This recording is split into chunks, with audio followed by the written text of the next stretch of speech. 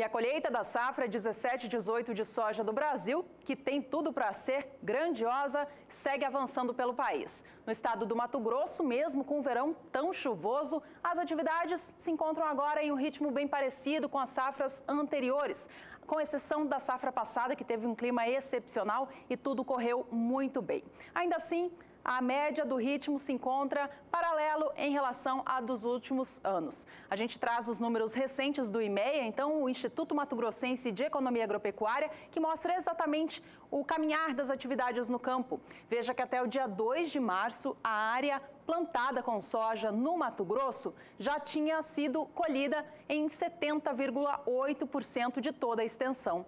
Nessa mesma época do ano passado, a colheita da temporada 16-17 estava um pouco à frente, em 78,4%. Mas na média dos últimos cinco anos, a colheita atingia 71,2%, mostrando, portanto, que as atividades hoje em dia caminham normalmente.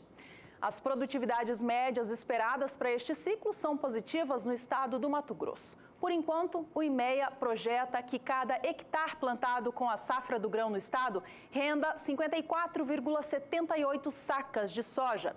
Com isso, a produção segue estimada em 30 milhões 970 mil toneladas. Os números da safra de soja para o estado mato-grossense são bastante positivos em relação aos números. Uma situação que começa a preocupar, no entanto, tem a ver com a qualidade da soja. Uma vez que choveu muito nas últimas semanas, o excesso de umidade elevou o nível de umidade do grão da soja, o que é uma situação ruim para o produtor que vai comercializar o seu produto. A gente quer saber então mais informações sobre o clima. Vamos falar com a Juliana Rezende da Somar Meteorologia se o clima no estado do Mato Grosso deve continuar muito chuvoso para saber como que essa soja que está pronta para ser colhida pode ser impactada ou não. Olá, Juliana, uma boa tarde.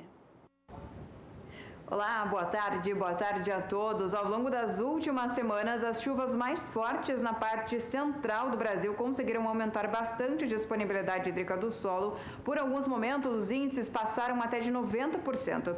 Dessa vez, a umidade do solo agora começou a diminuir. Isso porque as chuvas na parte central também tiveram períodos de diminuição de intensidade. Dessa vez, os índices agora no estado do Mato Grosso estão em torno de 80% na maior parte do estado. Então, então a condição começou a melhorar, principalmente para os produtores de soja que estão avançando com as atividades de colheita. Isso devido à diminuição também de umidade no solo. Nos próximos dias tem previsão de chuva na região. As pancadas de chuva não devem ser tão intensas e de maneira abrangentes. Apenas as áreas mais ao norte e também no leste do estado do Mato Grosso é que devem ter pancadas um pouco mais significativas. O volume de água fica em torno de 50 até 70 milímetros, mas são pancadas ainda que de forte intensidade, mas não devem ser aquela chuva persistente. Nas áreas mais ao sul do Mato Grosso, chuva mais fraca. O volume de água aqui nas áreas mais ao sul não passa de 30 milímetros em cinco dias, até pelo menos o dia 10 de março.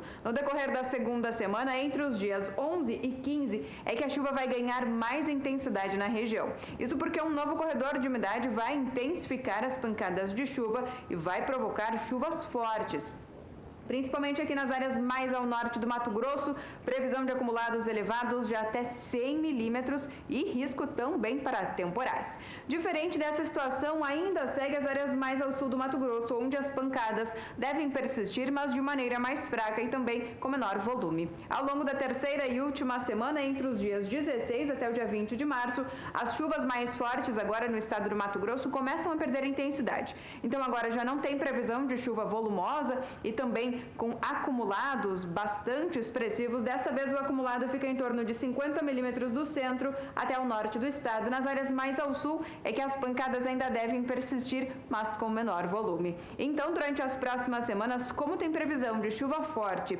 retornando para as áreas produtoras de soja do Mato Grosso, as atividades de campo podem ainda ser interrompidas e também paralisadas devido ao excesso de chuva na região.